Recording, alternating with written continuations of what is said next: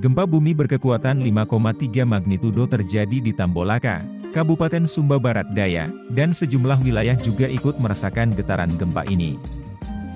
Melalui media sosialnya pada hari Jumat, 23 Agustus 2024, BMKG menuliskan, lokasi gempa 43 km timur Laut Tambolaka NTT. Gempa tersebut tidak berpotensi tsunami, namun BMKG mengimbau masyarakat untuk hati-hati terhadap gempa susulan. Getaran gempa juga dirasakan masyarakat di Labuan Bajo, hingga membuat warga panik. Seorang warga Labuan Bajo bernama Julia menuturkan gempa tersebut sangat dirasakannya hingga membuatnya panik. Meski demikian, ia bersyukur karena gempa yang melanda wilayah itu tidak berlangsung lama.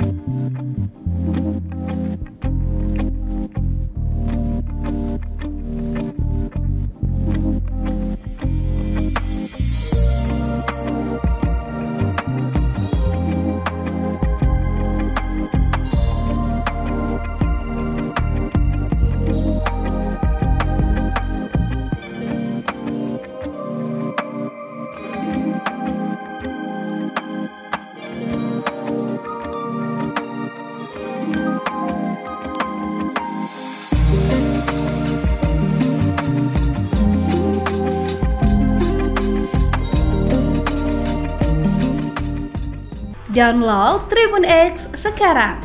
Menghadirkan lokal menjadi Indonesia.